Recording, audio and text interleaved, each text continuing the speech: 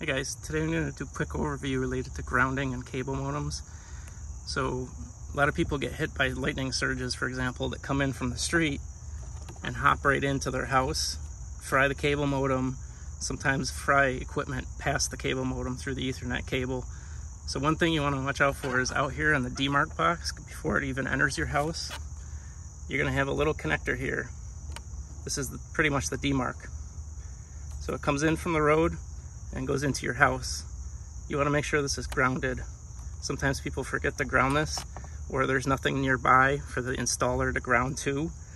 And instead of putting a grounding rod into the ground and grounding it properly, they'll just leave it ungrounded. So this is the first thing you want to check. Now, even in uh, apartment buildings, older apartment buildings and office complexes, there's usually just one of these protecting the whole building before it goes into a splitter. So you want to make sure before you do anything, you want to make sure this is grounded to a good ground before you go inside and start looking at the grounds in there.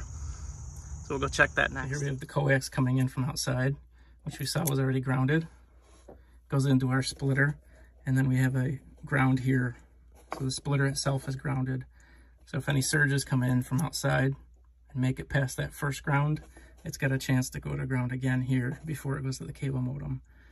This you don't need a fancy splitter like this one. Um, usually even the cheap ones at Home Depot have a spot for ground.